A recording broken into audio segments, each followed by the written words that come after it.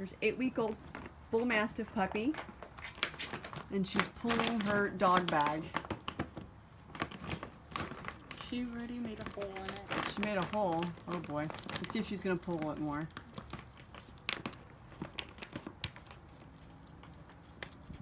I don't know if she's going to pull it now that she's eating it.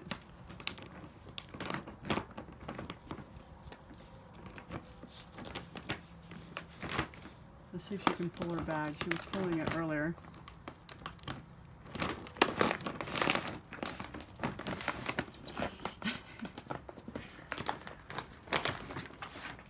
This is how strong this eight-week-old puppy today.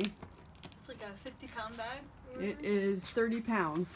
She's like, what, 16, 18 pounds? And Yeah. she's pulling a that's a mastiff for you.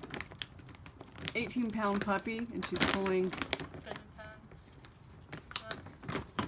Hey, hey, hey, hey. Bag. Look your food. let's see I want to catch her pulling